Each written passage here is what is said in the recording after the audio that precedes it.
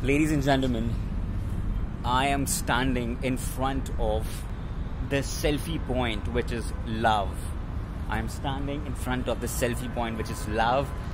According to me, what love is? Love is, see, after some time, after some time in a relationship, love, what is love? How much you can have sex with a person? How much? How much you can go out with a person?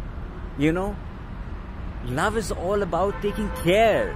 Love is all about taking uh, understanding the, your partner's need. Love is all about understanding understanding. Love is all about thinking how can i make my partner happy? Love is all about understanding feeling how can i make my um, um, my, my partner's need fulfilled love is all about understanding my partner's all potential Ladies and gentlemen, love is all about understanding, understanding, and understanding, and reaching your partner's potential to the highest level as simple as that.